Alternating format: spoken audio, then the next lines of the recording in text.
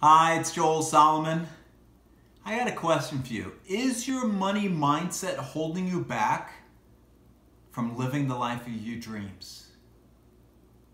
I talk about this in my recent bestseller, The Nine Money Rules Millionaires Use, only the unconventional ones. Because if you have a belief that you're not worthy of becoming financially free, well, guess what? You're not going to become financially free. You are worthy of massive abundance. Molly Singh and I talked about this on a recent podcast, The Matter of Heart, with Carol Olivia Adams, because we did a webinar called Infinitely Mindful in Money with Love.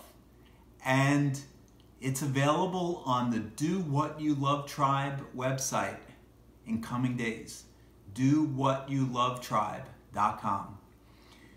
And you can get more information about it. You can reach out to me at joel at Salamour, that's S A L A U R M O R dot com. I believe in you.